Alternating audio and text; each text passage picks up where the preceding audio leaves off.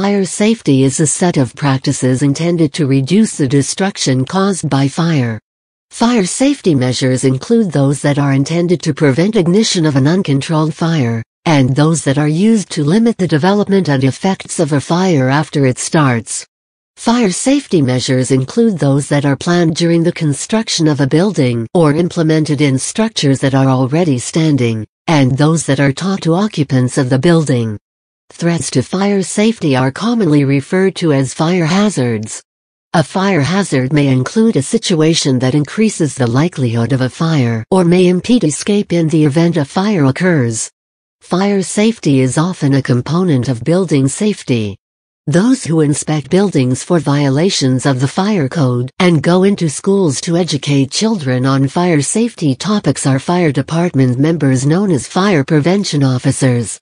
The Chief Fire Prevention Officer or Chief of Fire Prevention will normally train newcomers to the Fire Prevention Division and may also conduct inspections or make presentations.